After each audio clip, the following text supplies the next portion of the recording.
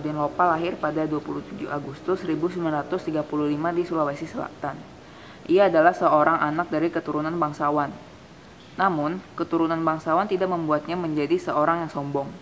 Sejak kecil hingga sarjana ia menempuh pendidikan di Sulawesi Selatan. Ia sangat terpengaruh dengan cerita-cerita rakyat tentang keadilan seorang pemimpin yang tetap tegas berdasarkan keadilan hukum. Dari cerita-cerita itulah, yang membuat Baharudin Lopa terinspirasi untuk menjadi seorang yang memiliki rasa keadilan dan kejujuran yang tinggi.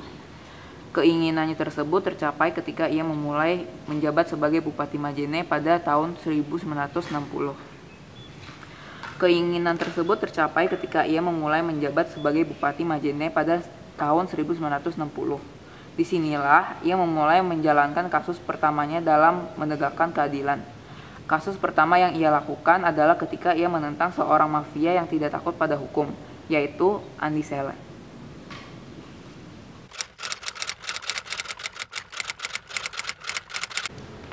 Bos, ada barang dari Darul Islam, boleh lewat tidak? Atas nama siapa? Atas nama Kak Musaka. Udah, kasih lewat aja. Kemarin gue udah terima uang suapannya. Tenang.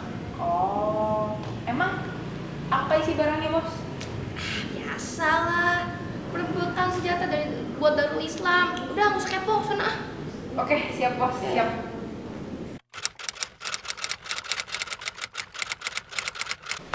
Pak, saya ada informasi penting. Kenapa, kenapa? Saya dengar Andi Sele menurunkan barang untuk Darul Islam dari Karmu Zakar. Apa? Ini harus ditindaklanjuti segera. Betul. Tidak bisa diampuni. Betul. Segera panggil Andi saya ke kejaksaan sekarang. Baik. Oke.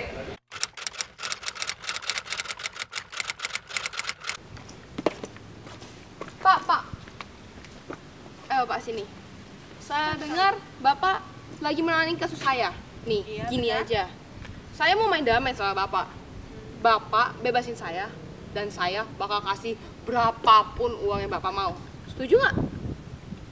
Maaf, saya tidak menerima sugokan apa pun dari Anda. Lah, heh, lagu banget sih, Pak. Siapa yang nggak suka duit sekarang? Eh, Saya peringatkan kepada kamu ya. Jangan memberi uang kepada para jaksa. Jangan mencoba-coba menyogok para penegak hukum. Apa pun alasannya. Pada akhirnya Andi Sele tetap di penjara. Setelah sukses menangani kasus Andi Sele, Baharudin Lopa kembali beraksi dalam menangani kasus Tony Gozal.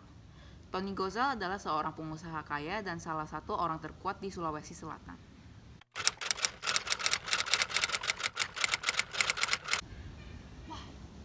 dana reboisasi gede juga nih kayaknya kalau gue ambil 20% aja gak bakal ketahuan.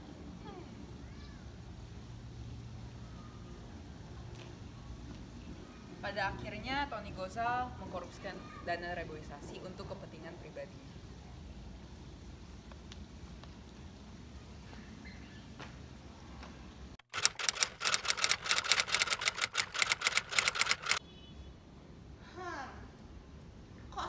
Si Tony bisa bikin hotel di mana-mana ya? Dia dapat uang dari mana? Sepertinya ada yang aneh ini. Saya perlu menyelidiki ini. Hei kamu, sini sebentar. ya, Bos. Tolong bantu saya selidiki kasus Tony Gozal. Ah, siap, Bos. Oke, terima kasih. Pak, pak, pak, pak, pak, pak, pak. Kenapa kenapa? Saya dapat informasi kalau Tony Gonzal itu mengkorupsi dana reboisasi. Apa? Kok jadi dana reboisasi? Hubungannya apa? Ih, bapak nggak tahu ya. Dia itu pakai dana korupsinya buat bangun hotel buat kepribadiannya sendiri. Hmm, Oke, sekarang bantu saya. Cepat panggilkan Tony Gozal untuk disidang. Sekarang. siap bos. Tony Gozal menerima kabar tentang pemanggilan dirinya ke pengadilan atas kasus memanipulasi dana reboisasi sebesar 2 miliar rupiah. Kemudian, Tony Gozal menghubungi salah satu teman yang mempunyai kekuasaan di pengadilan untuk meminta tolong agar kasusnya dapat diselesaikan secara damai. Pada akhirnya, Tony Gozal pun bisa bebas dari tuduhan tersebut karena bantuan koneksinya. Baharudin Lopa pun hanya bisa diam memendam amarah dan kekecewaannya. Meskipun kasus sebelumnya tidak berhasil, namun setelah itu dia menangani kasus terbesar yang pernah ia tangani, yaitu kasus korupsi yang dilakukan oleh mantan Presiden Soeharto dan sahabatnya Bob Hasan.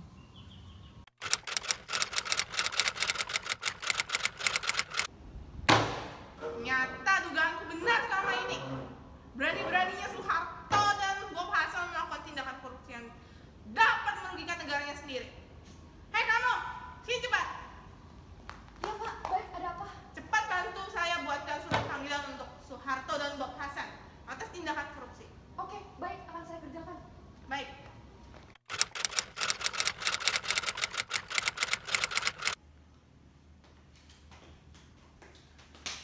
Aduh, Pak, kita ketahuan korupsi sama si Baharudin itu. Terus berani-beraninya dipanggil kita ke pengadilan. Berani-beraninya dia. Dia nggak tahu siapa kita. Iya Pak, tolong bantu saya agar saya bisa melalui kasus ini. Biar kita sama-sama enak. Bapak lolos, saya juga bisa lolos. Tenang, saya bakal bantu kamu sebisa mungkin, oke? Kamu tenang dulu ya. Iya Pak, terima kasih. Iya. Terima kasih. Itulah cerita kejujuran dari seorang Baharudin Lopa. Terima kasih.